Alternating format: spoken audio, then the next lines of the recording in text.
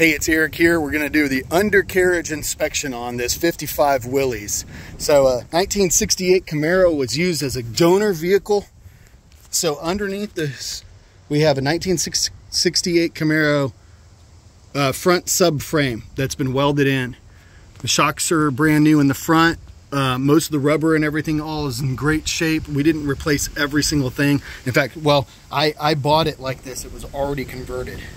So somebody had already done that. But we did redo the brakes and I did call the uh, parts store and say 1968 Camaro and our brake parts fit right on. So we tested that theory out.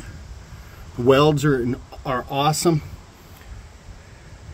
And like I said in the other video, I didn't take the time like I might have on other vehicles to, you know, like clean, wash and clean the, the oil pan and the transmission pan to make it look all perfect. Um, because we really just wanted to to be able to drive it. I have a little bit of gravel in the area where we live, and so we drive on a dirt road sometimes.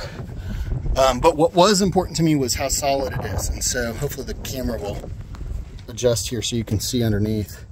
But this is a very solid truck. You'll see quite a bit of the old undercoat coating here that's still kind of peeling off, but still hanging on.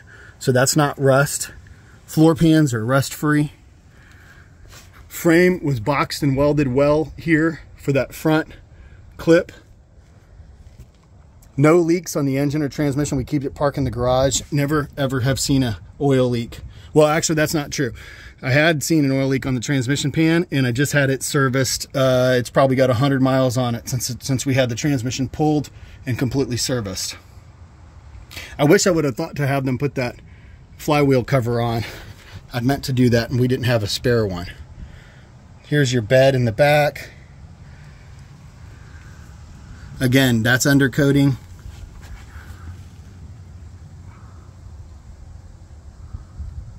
I was actually surprised to see that that was painted same color. That's pretty cool. This is the bed all in the back underneath. And, you know, surface rusty kind of things a little bit here and there, but even that, not that much, even as I say that, I'm so used to saying that when we do other videos. Air shocks were installed, the chuck is in the back. Inside the frame, like I said, I haven't seen any rust so far. I'm not, I'm careful when I say rust free because I try to be very, very, you know, for sure rust free when we say rust free. So I'm going to say 99% rust free. Minimal rust, if you want to call it that. So old tank in the back is in great shape. I mean, these are the, you know, back of the inner fender wells. These are spots that oftentimes you'll see lots of rust on these. I just want to show that this is all solid. There's your uh, fuel tank nozzle. Um, rear end is in great shape.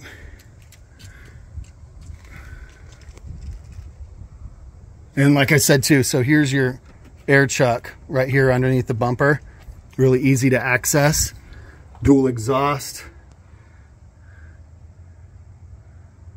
But the number one thing I'm emphasizing under here, and this is, you know, me laying down on the ground to show you guys that this is a very solid, solid automobile.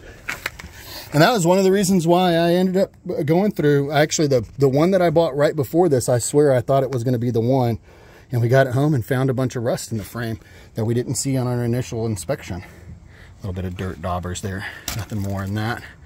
Like I said, I didn't do a, you know, we didn't pull it up and try and wash the undercarriage or do anything like that. Look, these rockers are in amazing condition.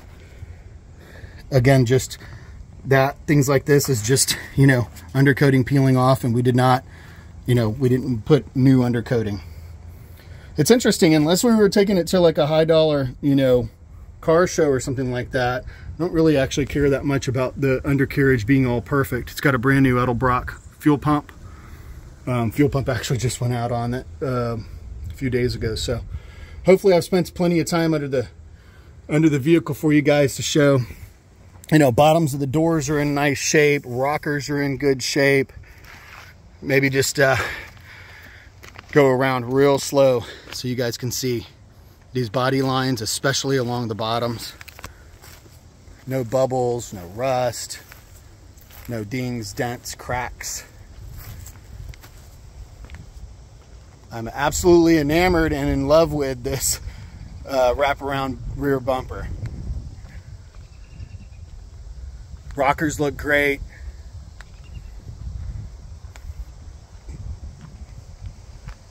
So there you have it. Undercarriage inspection on this thing, proving the vehicle to be overall, I'd say 99% rust free if you want to say that. I didn't notice any rust while we were while we were just doing that video, um, or of course in the past few years that we've owned it and kept it in the garage.